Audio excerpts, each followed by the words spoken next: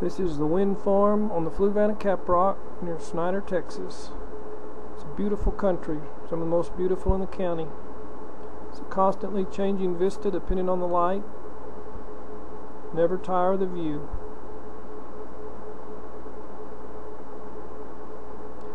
Turbines are located in rugged country. First I thought they would be a blight on the land, but now I actually find them elegant and enjoyable to look at. Landowners love them. Better than an oil well, no mess, wind never plays out. Owners are paid according to how much energy is produced. They can make up to three to four thousand dollars per unit. The energy is green and in much demand.